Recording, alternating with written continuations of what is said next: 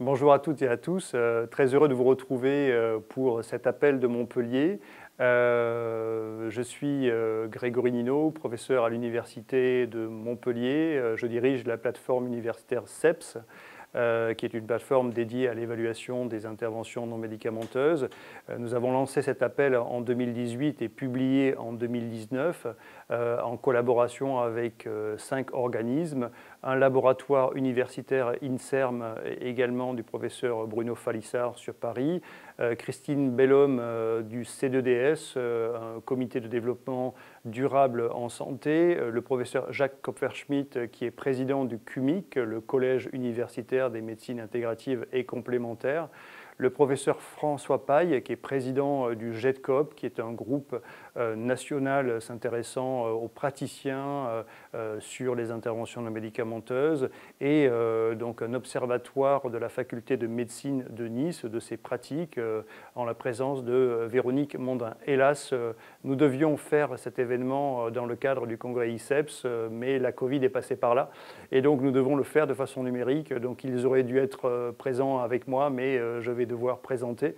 Euh, un sommaire très rapide, l'appel de Montpellier, éléments sur cet appel euh, que nous avons publié en, 2019, quelques bilans euh, sur les courriers qui ont été envoyés à des décideurs, quelques exemples d'avancées en 2020 et des perspectives que je vais développer. Donc vous savez euh, toutes et tous qu'aujourd'hui, euh, les interventions non médicamenteuses s'inscrivent dans la stratégie nationale de santé 2018-2022. C'est écrit, euh, il y a l'envie et la motivation et la détermination d'aller plus loin en matière d'évaluation, en matière de proposition et d'encouragement de ces INM en fonction des populations, des personnes âgées, des personnes malades chroniques, en prévention ou à visée thérapeutique. elle s'inscrit également dans la stratégie OMS 2014-2023 sur lequel l'OMS encourage euh, le fait d'aller plus loin dans la recherche et de pouvoir trier finalement euh, le grain de livret entre euh, des pratiques qui vont être pertinentes, qui vont être efficientes et d'autres qui seraient potentiellement alternatives. Et effectivement, nous avions, dans le cadre de la plateforme CEPS, fait une enquête auprès de 625 euh, professionnels, dont 166 euh, médecins, et nous avions trouvé quelque chose d'assez étonnant. On regarde ici les thérapies manuelles et on voit euh, dans cet inventaire à la fois des disciplines, à la fois des approches, à la fois des méthodes, à la fois des techniques, à la fois du matériel. Et finalement, on n'arrive pas vraiment à s'en sortir entre l'acupuncture, le cupping, euh, des méthodes ou la fasciathérapie, la réflexologie, le massage. Je crois qu'il est temps, et, donc beaucoup de personnes l'ont évoqué, c'est la raison pour laquelle nous avons... Euh, fait cet appel de Montpellier en 2019 et évidemment il s'inscrit dans ce que la haute autorité de santé euh, évoquait, un cadre organisationnel et économique à améliorer, d'une information des professionnels et des patients euh, qui doit être également améliorée, une adhésion des professionnels, notamment des médecins généralistes, pour avoir peut-être en première intention des solutions qui sont proposées de façon pertinente et une offre qui soit plus régulée. Mais hélas, euh, contrairement euh, aux médicaments, il y a une cinquantaine d'années où euh, un, modèle a été établi, consensuel, à la fois de validation et de surveillance de ce, et de ces médicaments, donc avec une approche très rigoureuse. Lorsqu'on regarde ce qui se passe dans les interventions non médicamenteuses, il y a aujourd'hui 46 modèles, et donc c'est une étude qui a été menée par le docteur François Carbonel et publiée en 2019 en disant bah, finalement il n'y a pas encore de consensus en matière d'évaluation de, ces pratiques. Et donc, ce qui est assez étonnant, c'est qu'il n'y a pas une reconnaissance suffisante de ces pratiques. On peut ici euh, regarder euh, la Haute Autorité de Santé en 2017 qui euh, contribue et souhaite impliquer les patients dans l'évaluation des pratiques, mais regardez, ici il ne s'agit uniquement que l'évaluation des médicaments et des dispositifs médicaux, comme si finalement les interventions non médicamenteuses n'avaient aucun effet sur la santé. On peut également voir euh, de plus en plus de patients, de plus en plus d'enquêtes, et je vous rapporte ici euh, au Centre d'analyse stratégique du Premier ministre en 2012 en disant qu'il y a vraiment une demande des patients, il y a même un usage des patients, et parfois euh, sans avoir une traçabilité, sans avoir une information précise sur ces problématiques. Donc il est temps d'aller plus loin, et de la même façon que des praticiens suivent de façon importante cette démarche scientifique, qui s'inscrivent dans une démarche scientifique, que ce soit des chercheurs, que ce soit évidemment des praticiens, l'envie d'aller plus loin. Et nous avions organisé un premier congrès en 2011 sur cette thématique. Et puis, nous faisons désormais un congrès tous les ans qui s'appelle ICEPS Conférence, qui réunit des chercheurs du monde entier et des praticiens menant des recherches. Et on voit à quel point la recherche avance de façon significative. une statistique est juste un chiffre pour vous le dire plus d'un million de publications scientifiques sont euh, produites tous les ans euh, sur les interventions non médicamenteuses. Et juste pour prendre un exemple sur euh, une société qui développe cette exploration et cette fouille bibliographique, on voit que dans le cancer, il y a 15 000 publications par an, dont 1500 études cliniques, et ce chiffre a doublé entre 2010 et 2020. Donc il est temps effectivement d'avoir un tri entre des interventions non médicamenteuses qui sont efficientes, qui sont fondées sur la science et devant euh, être beaucoup plus conventionnelles qu'elles ne le sont aujourd'hui, euh, et d'autre part de différencier les messages généraux de santé publique qui sont évidemment indispensables, euh, des règles hygiénodététiques, des, campagnes publicitaires sur tel ou tel comportement, de bouger plus, de manger mieux, oui, mais il y a des interventions non médicamenteuses, des méthodes qui vont avoir une efficacité spécifique sur des indicateurs de santé, et différencier évidemment de ce qui va relever de pratiques culturelles, socioculturelles, religieuses, de produits de consommation courante sur lesquels il n'est pas question, euh, lorsqu'on regarde un film, euh, qu'on soit dans, une approche qui est une approche à visée de santé. C'est bien ici, là, une, approche sur laquelle on est dans une, visée culturelle euh, ou sociale. Et évidemment, il reste le troisième pan ici des pratiques parallèle euh, de ces médecines qui peuvent être alternatives, des pratiques non éprouvées, euh, sectaires, euh, voire des fakes. On pourrait développer, mais en tout cas, ces trois éléments sont en train d'être différenciés de façon bien plus importante et évidemment une différenciation qui se fait par rapport à ces pratiques socioculturelles et ces produits de consommation courante. Il est évident que lorsqu'on regarde la littérature en Europe, il y a une véritable différence entre les riches et les pauvres vis-à-vis de ces pratiques. Euh, ceux qui sont privilégiés euh, vont avoir euh, de façon plus évidente de l'information, de l'accès et potentiellement évidemment un pouvoir d'achat pour se les payer. Et évidemment, ce qui est un gros problème, c'est cette inégalité sociale croissante sur ces interventions non médicamenteuses. Je vous invite à regarder cette publication qui est tout à fait remarquable.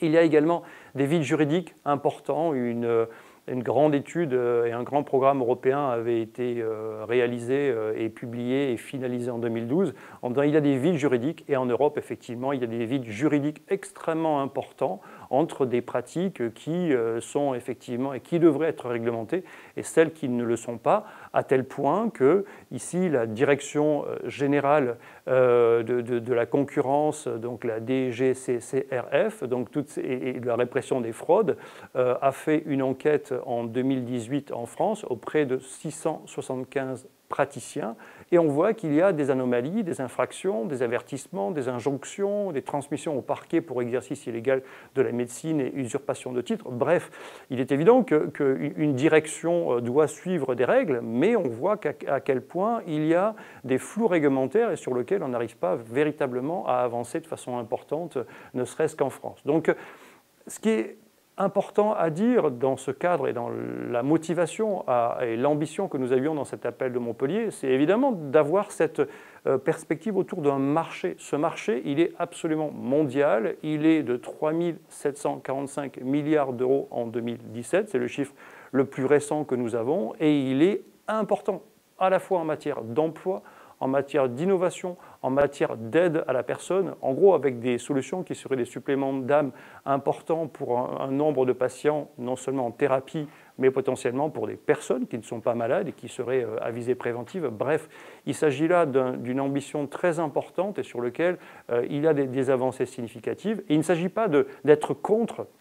et contre, par exemple, l'industrie du médicament, qu'il a bien compris ici. Euh, je vous encourage à lire également euh, ce, dossier sur les entreprises du médicament qui disent il faut à la fois des médicaments, évidemment, mais il faut euh, aussi des traitements complémentaires qu'ils appellent ici des thérapies intégratives, mais encore une fois, pour avoir une amélioration de la santé de chacun, ça doit passer par l'un et l'autre. Et l'idée, que c'est que tout simplement 1 plus 1 va faire 3 et pas uniquement 2 au bénéfice des patients. Donc toute la perspective que nous avons fondée sur cet appel de Montpellier est résumée dans cette diapositive. Euh, des traitements biomédicaux quand c'est nécessaire, euh, des interventions non médicamenteuses, et après, il peut y avoir des réflexions encore plus globales et encore plus intégratives sur des actions éducatives, sociales, artistiques, spirituelles et également sur des réflexions euh, de démarche environnementale. Mais l'appel de Montpellier était centré sur une intégration supérieure des interventions non médicamenteuses dans le système de santé. Nos organisations, je crois que nous en avons suffisamment parlé, c'est bien au nom de ces organisations que je me présente euh, devant vous pour dire euh, cet appel ici, donc, où nous appelons les autorités publiques françaises et européennes à clarifier les indications, les définitions, les contenus, les pratiques, les formations initiales, les formations continues en médecine intégrative et en INM, euh, faciliter et développer la recherche, l'évaluation, la surveillance des bénéfices, des risques, des coûts efficacité, de la pertinence des INM à visée préventive et thérapeutique, impliquer euh, les patients et les professionnels dans l'évaluation et la surveillance des pratiques euh, et des praticiens, sensibiliser euh, les médecins à ces méthodes, différencier explicitement ces méthodes des pratiques occupationnelles et des médecines parallèles, euh, faciliter l'intégration des INM pertinentes dans les parcours individuels de santé et voire de vie, améliorer euh, l'accès à une information claire et transparente sur les pratiques et les praticiens, structurer réglementairement et économiquement ce secteur, demander aux professionnels des INM de s'engager à ne pas retarder ou interférer avec un diagnostic médical et créer un organisme national ou européen spécialisé dans le secteur. Cet appel il était et il est toujours sur Internet. Vous pouvez euh, ici euh, le retrouver. Ce document est à télécharger, à partager. Et nous nous étions dit avec euh, ces institutions partenaires que nous devions le proposer aux décideurs et je vais vous rendre compte de, des résultats des documents que nous avons envoyés à 201 décideurs français et européens vous n'allez pas être déçus. L'Europe, Anne Bucher, Commission européenne, Direction générale de la santé et sécurité alimentaire, au courrier envoyé,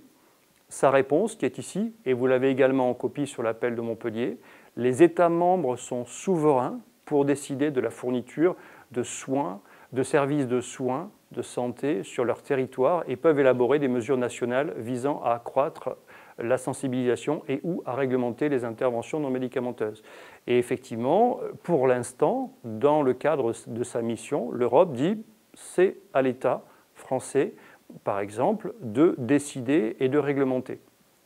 Le courrier a été envoyé euh, de la même façon euh, au Premier ministre et donc la chef de cabinet du Premier ministre d'Édouard Philippe répond en disant il faut transmettre et donc elle transmet la demande à Mme Agnès Buzyn, ministre des Solidarités et de la Santé, afin qu'elle prescrive l'examen et vous tienne directement informé de la suite qui lui sera réservée. Pour l'instant, nous n'avons pas de réponse d'un courrier euh, qui était euh, euh, parti, vous voyez, en novembre 2019.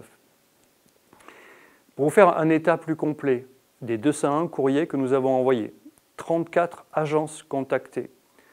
5 agences régionales de santé, sept systèmes ou organismes d'assurance maladie, une collectivité départementale, 60 députés, euh, 6 structures européennes, 12 représentants ministériels, une mutuelle, 69 organismes privés, 3 sénateurs et d'autres. 201 courriers envoyés. Résultat, eh bien, vous voyez qu'il y a quelques refus standards et il y a finalement peu de, réponses à notre appel 2019. Et pour euh, vous faire une petite statistique, donc 11% de taux de réponse, c'est faible. Et les contenus, je pense que je voulais illustrer clairement, l'Europe renvoie vers les États en expliquant que les INM ne relèvent pas à ce jour du secteur de la Direction générale de la santé et de sécurité alimentaire. Je crois qu'on en a vu une expérience difficile avec la Covid. Le Premier ministre renvoie vers la ministre des Solidarités et de la Santé. Les députés, les sénateurs renvoient vers leurs collègues. Les responsables régionaux renvoient vers leurs homologues nationaux. Et peut-être que finalement, ceux qui ne répondent pas peuvent considérer qu'il y a un faible intérêt pour le sujet. Pourtant, les médias en parlent tous les jours, pourtant les patients en utilisent tous les jours. Une prudence euh, face à la complexité peut-être du sujet, euh, la peur d'ouvrir la boîte de Pandore, euh, la peur de corporatisme, la peur de pression économique, la peur de vide juridique, ou alors peut-être que tout simplement notre démarche n'était pas euh, adaptée et pourtant nous représentons à la fois des usagers, des universitaires, des scientifiques et des praticiens. Et donc nous avons poursuivi par ce bilan qui est à votre disposition sur appel 2-montpellier.fr. Et donc nous avons repris les textes les plus importants depuis 1997, euh, européens et français, euh, invitant à plus d'intégration de ces interventions non médicamenteuses euh, dans le cadre du, système de santé. Et donc je vous invite à télécharger également ce dossier sur cet appel. Et voici quelques exemples d'avancées en 2020.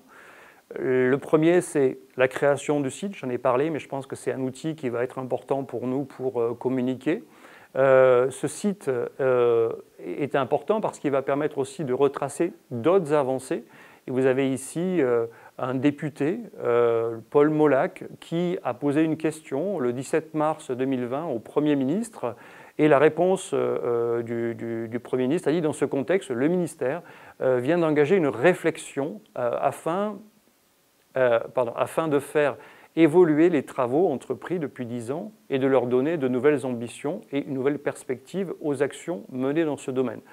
Donc pour l'instant, nous n'avons pas euh, d'informations précises sur ce que souhaite le ministère par rapport à, ces questions-là, mais je crois que c'est important de continuer à, leur demander un petit peu euh, quelles sont leurs perspectives et comment ils comptent avancer sur le sujet. Euh, un autre élément extrêmement significatif de l'avancée, et, euh, ici je vais citer euh, et remercier Julien Nizar, je pense qu'il a fait un travail tout à fait important dans le cadre du Collège universitaire des médecines intégratives et complémentaires pour la création en septembre 2020, donc c'est maintenant, d'un enseignement obligatoire sur les INM en deuxième cycle pour les médecins dans l'UE bon usage des médicaments et des thérapeutiques non médicamenteuses. Je pense que c'est une avancée très très importante que chaque médecin et enfin, une information précise sur ce, que sont les interventions non médicamenteuses et comment potentiellement elles peuvent être utilisées. Euh, autre point important, je crois que vous l'avez peut-être vu, euh, donc ça date, c'est très très récent, hein, donc le 28 octobre 2020, le haut commissaire euh, au plan, monsieur le ministre monsieur François Bayrou a écrit un, document de 13 pages évoquant la question de la Covid et les réflexions autour de notre système de santé et en évoquant à quel point il y a là des possibilités d'emploi, d'emploi à la fois sur les territoires, euh, d'innovation et de service à la personne qui pourrait être ajouté. Et j'imagine qu'il voulait aussi parler des interventions non médicamenteuses, mais je vous recommande la lecture de ce document parce qu'il euh, est évident qu'aujourd'hui, ces interventions non médicamenteuses sont encore une fois euh, des solutions complémentaires des autres thérapeutiques. Les initiatives que nous prévoyons en 2021 avec l'équipe, d'une part, d'envoyer ce bilan factuel aux décideurs. Euh, et je comprends que ces décideurs ont actuellement des réglementations qui les limitent, mais euh, tous les pays ont avancé de façon extrêmement significative. Je pense à la Suisse, je pense à l'Allemagne, je pense aux États-Unis, je pense au Japon. Il y a vraiment des pays en avance sur euh, ces pratiques. Il ne s'agit pas de charlatanisme, il s'agit bien de s'appuyer sur la science pour amener des bénéfices significatifs pour les patients. Donc, euh, dans le cadre de cette, euh, de perspective 2021, effectivement, nous étions six organismes et euh, nous souhaitons ouvrir euh, cet appel à d'autres organismes, mais également à des personnalités, en encourageant les personnes à finalement soutenir l'appel, en signant simplement et ayant des, informations sur le, mouvement euh, que nous avons lancé en, 2018 et euh, qui ne va pas s'arrêter là. Vous voyez, nous sommes que des institutionnels, nous travaillons pour le bénéfice des patients. Nous sommes apolitiques, nous sommes vraiment là pour dire comment on peut arriver à améliorer la santé des populations et je ne voudrais pas reparler encore de, de la Covid. Nous avons également créé un système de recueil de propositions en ligne. N'hésitez pas, euh, pour celles et ceux qui m'écoutent, à, proposer en ligne euh, des, suggestions, des solutions. Euh, je crois qu'il y a vraiment beaucoup de choses. Il y a des initiatives citoyennes que nous allons certainement proposer. Et dans cette perspective, nous pensons que euh, de contacter les décideurs, c'est nécessaire, c'est important, mais peut-être qu'il faut aussi élargir la réflexion autour euh, de ces INM parce qu'elles peuvent, pour certains, euh, faire émerger des croyances, pour certains, créer des, replis corporatistes ou des replis institutionnels. Non, non, non. L'idée, c'est d'avoir une santé qui soit meilleure pour les uns et pour les autres et de se servir de toutes les solutions pour que les personnes aillent mieux potentiellement évite un certain nombre de, maladies. Donc tout ça pour dire que euh, nous allons euh, proposer euh, lors de l'ICEPS 2021, le 2 avril, de 16h à 18h, une session, hélas encore une fois à cause de la Covid, mais sûrement à distance, et qui permettra d'avoir ce recul parce que les interventions non médicamenteuses sont forcément des solutions face aux enjeux démographiques économiques, sociaux, environnementaux euh, et, sanitaires, en particulier je pense aux maladies chroniques. Euh, mais, je crois qu'il est important aujourd'hui d'élargir cette réflexion pour que potentiellement euh, les futurs décideurs soient en capacité de choisir quelles sont les meilleures voies pour les mettre en œuvre de façon importante. Je vous remercie de votre attention. Euh, je vous souhaite de bonnes fêtes et euh, j'espère vous retrouver euh, donc en 2021. merci encore à tous et à tous. Bonne journée.